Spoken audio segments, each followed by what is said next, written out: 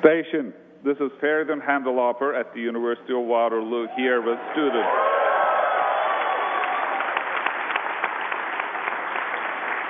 How do you hear me? Dr. Hamdullahpur, I read you loud and clear. Welcome on board the International Space Station. How do you hear me?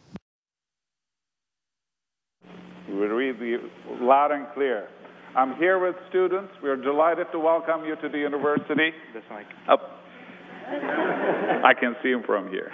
We're delighted to welcome you to the university. We have a group of students who are anxious to ask you questions, so we'll just get on with it. Our first student. Hi, Chris. My name is Rashmi Venkatesh. My question is Has the sensation of leaving Earth's protective field changed since your first trip into space? And can you describe your feelings, apprehension, wonder, or fear as you left Earth's protective horizon on this mission?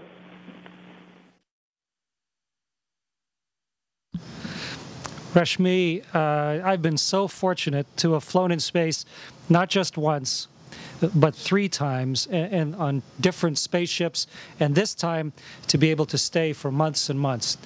Um, I would say my apprehension was low. I was more concerned about not going to space than I was about going to space.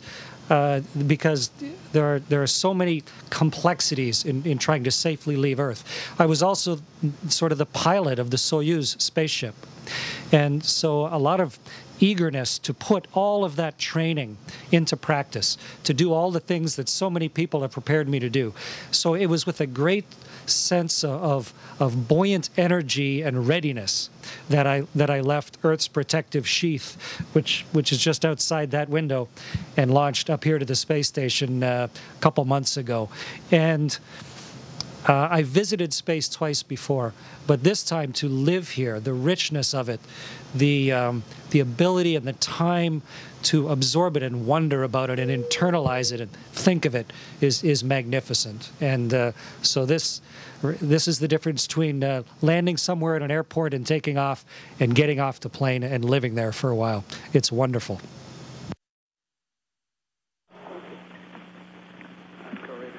Hi, Chris. My name, my name is Andrew Robertson. I'm fortunate to be involved in the University of Waterloo research that is examining the deconditioning effects of spaceflight that are similar to accelerated aging.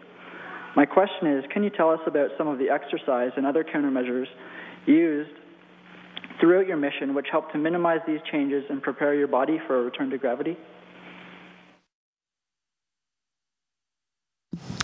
Thanks, Andrew. There are, of course, as, as you well know in your studies, a lot of changes uh, everything. Some very obvious. The, the fluid shift, my my extremely uh, skinny calves that I have right now because of uh, there's no gravity pushing the the fluids into my legs. Um, some of them are very subtle. Um, my eyes uh, sting a little more up here because they don't drain ever. So you kind of have more a sheath of tears in your eyes more often. You can still cry in space, but they just the tears don't fall. And so there's subtle things as well. Uh, but the biggest ones, the ones we have to worry the most about, are preparing ourselves for coming home and preparing ourselves to be strong enough if we have to go outside and fix something. And uh, as you mentioned, we use countermeasures. Um, the two big ones we have are cardiovascular, and we have both a treadmill and an exercise bicycle. And uh, those get our heart and lungs working and the blood coursing. Um, and then the other is resistive exercise. And of course, uh, you can do 10,000 push ups up here uh, because there's no up. But we have a, a device, a resistive exercise device, where you're pushing actually against big cylinders that if the air pulled out of them like a vacuum. So you get a nice linear push against them. And it's a lot like lifting weights. And every single day we spend two hours on those pieces of equipment. The rest of it, we just float around and you can be as lazy. I mean, I, I don't even have to hold up my head up here. But uh, for two hours a day, we work hard. If I can get myself back down and, oh, I'm falling all over. I'm right up close. For two hours a day, we work hard to keep our bodies in uh, in shape to keep our muscles strong so that if we have to go outside on a walk, we can operate the spacesuit. And when we land back on Earth again, we'll be able to walk and our bones will be strong. Hi, Chris. My name is Amber Nicholson. My question is with your unique vantage point in space, are you able to see any evidence of environmental degradation on our planet? Hi, Amber. We sure are. Uh, some very visual examples like um, the Aral Sea, which, because of irrigation changes, uh, an entire inland sea has basically dried up to nothing. And from the first astronauts who flew and took pictures of it to us taking pictures of it now, uh, the, the difference is striking. All the major cities of the world, the really big ones, normally are gray smears. Uh, the big city, Mexico City, LA, uh, the cities in China, just because of the smog and pollution they create, and you, you, hardly could even see them, and they they have trouble looking up at the sky as a result. So you see that, and we also see the glaciers, and uh, we've been taking a lot of pictures in Patagonia of uh, of the glaciers as they exist right now, and uh, and compare them to historic photographs. So it, it's and when there's a volcanic eruption and we look at the horizon, you can see the particulate in the upper atmosphere. So it's a wonderful vantage point for long-term monitoring of the Earth's atmosphere and the health of, uh, of the planet on the surface, yes. Hi, Chris. My name is Sakshi Jain. My question is, in March, you'll take on the responsibility of commanding the International Space Station. How are you preparing for this role, and how will you handle the stress that comes with the position?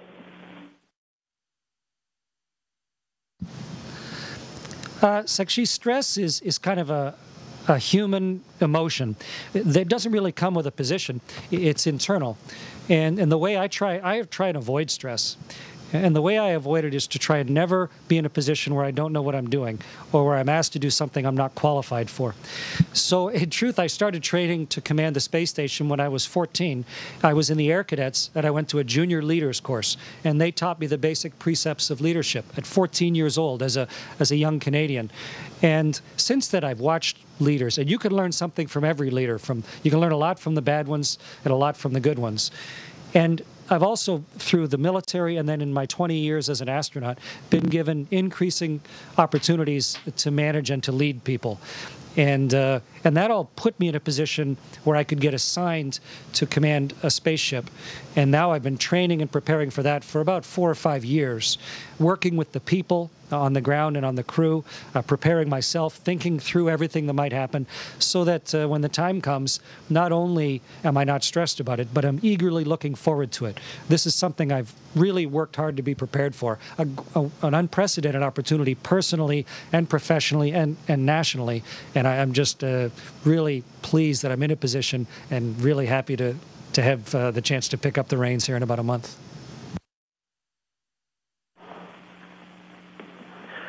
Hi, Chris.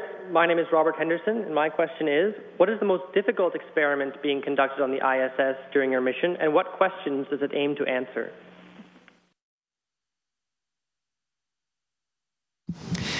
Uh, we have we're running, I think you know, Robert, about 130 experiments on board. Um, difficulty is probably the ones that you know that affect us personally. Some of the complex ones are running on their own. Um, I set up and ran Robonaut today, and the alpha magnetic spectrometer is running. But uh, one from the University of Waterloo, there's a Canadian experiment running down here in the corner that I'm taking care of. One from the University of Waterloo has some complexity to it. I think Dr. Hughson was talking to you about it. But uh, we take these leg cuffs, and uh, I'm going to float the microphone. We take these leg cuffs and uh, have to put them on our on our upper our upper thighs here, and get it all just right and attached and then pump them up. And then uh, when everything's just right, we have all the medical data attached to our body, then release them. And it's, it's almost the same as coming from uh, weightlessness and suddenly putting gravity back so that the blood that was trapped now suddenly can flush down into the legs. And it, it takes a lot of setup, of course, to get all of the biomedical sensing equipment attached to our body and then get all the the all the parameters. I mean, Dr. Hughson and his team have been working on it for years to get to the moment where I can get all this equipment set up, running properly in the right position, and then have my body uh, go through this sudden change so that then we can study how the body regulates blood pressure, how it regulates the blood flow, and use that, of course, for astronaut health, but also for the health of, of everybody on Earth who has blood pressure regulation problems. So, one like this with a lot of equipment, they have a lot of complexity, but also they, they have a lot of benefit. Uh, hi, Chris. Hi, Chris. Hi, Chris. My name is Alex Lee, and my question is, how does internet work on the ISS? Uh, it works really slowly, Alex, uh, if at all. Um, we don't really have internet uh, or just barely have internet on the space station, but we have multiple links to the ground. Some direct, just like a VHF radio. Uh, we have ham radio. But we also have high data rate uh, communications through different bands of the spectrum, not just VHF, very high frequency, or UHF, but we also have S band and KU band. Uh, complex answer, but when we have KU band, it's a high enough data rate that we can bounce our signal off a, a geostationary satellite down to Earth through all the ground relay sites, down to Mission Control in Houston, and then they take that signal and they hook it up to a computer that's sitting there like a mirror computer site down in mission control so that when I tap on my keyboard up here, it goes through that long, long trail all the way down to that ghost computer on the ground, and that way I can access the internet. And that's how I can send messages on Twitter and, and do very slow functions. It's slow, slower than dial up. So I can't watch videos or anything, but it's good enough uh, for just verbal and Twitter kind of data communication. And it's been a wonderful boon for, uh, for me to be able to help communicate this experience to the ground. Hi, Chris. My name is Michael Goldring. My question is Did the transition from test piloting fighter jets make spaceflight a less daunting task? Uh, yeah, astronauts come from a lot of different backgrounds. Uh, I was a uh, engineer. I, of course, I was an engineer at the University of Waterloo. Um, I was a fighter pilot, and then I went to test pilot school, and I worked as a test pilot for several years.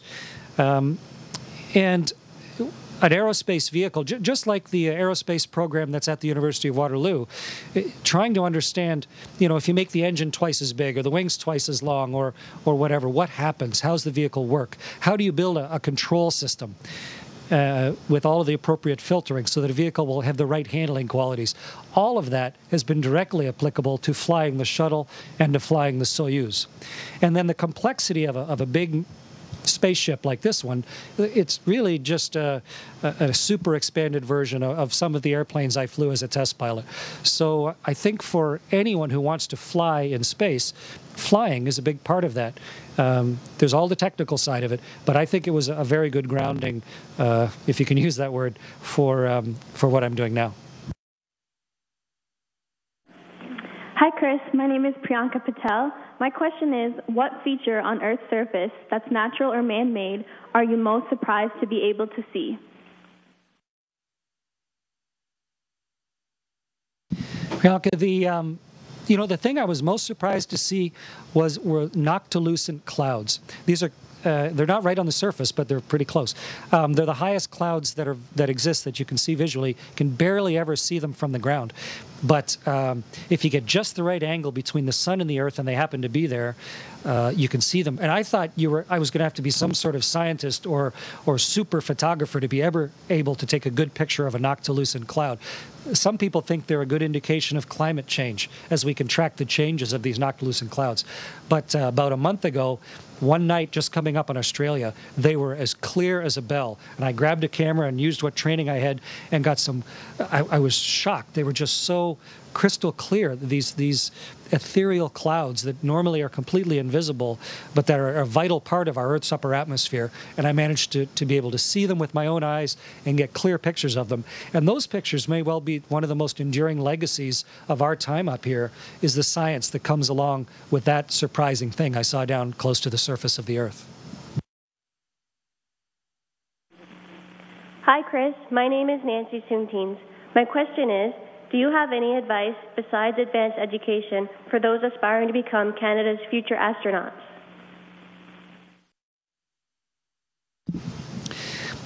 Hi, Nancy. Uh, yes. Uh, in fact, you should ask Jeremy after because Jeremy asked me that same question about 14 years ago or 13 years ago. Um, number one is uh, you need a healthy body because we we don't want to take a big risk on health up here. So not only hopefully you're born with a body that's healthy enough, but also you need to take care of it. So you don't have to go crazy, but exercise enough to stay in shape and don't eat bad things and, and keep your body in shape. Number two is an advanced education. And not so much for the education, I mean, uh, a technical education is important, but to proven ability to learn complex things. And, and of course, you're doing that at the University of Waterloo, tremendous school. And then the third thing is an ability to make good decisions when consequences matter. And uh, where you, the, the result of your decisions either is life or death or big uh, financial consequences or something like that.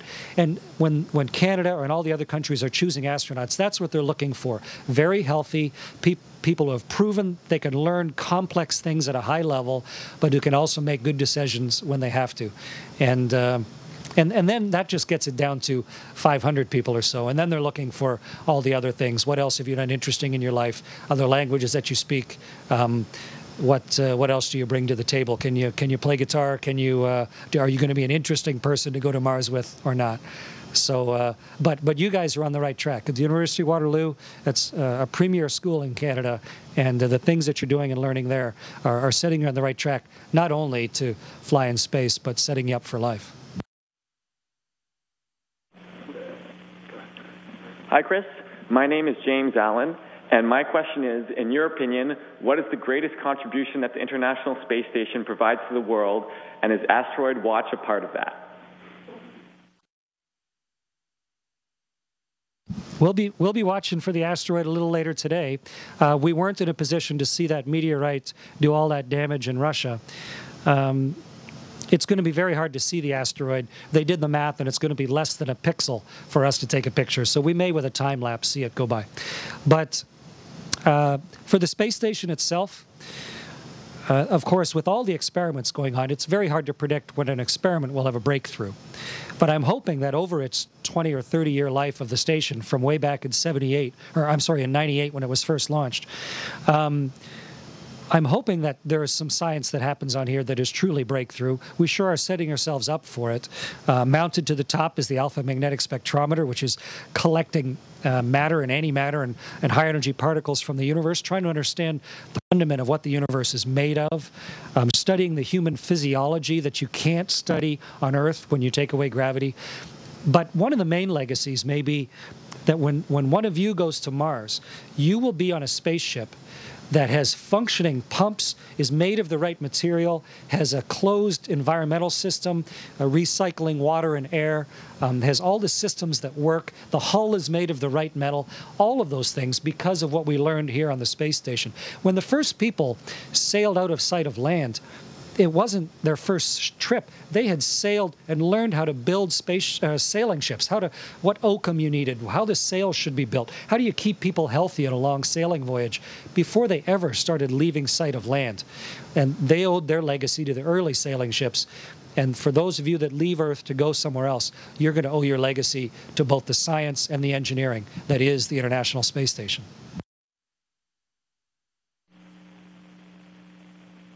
Hello, Chris. Ian McKenzie. I'd like to thank you on behalf of the University of Waterloo and particularly the students who participated in this event today, and we look forward to seeing you at the University of Waterloo in the future.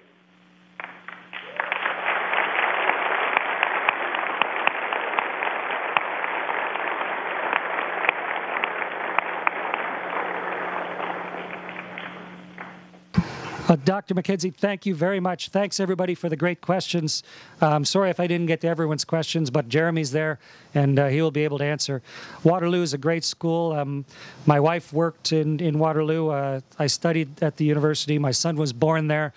Uh, it's a great part of Canada, and I very much look forward to coming and visiting and really trying to take the time to tell you about this experience uh, when I get back to Earth landing in May and, and back to Canada this summer. So thank you very much. thank you, Jeremy, and everybody for supporting, and uh, we'll talk to you all later. Bye from the International Space Station.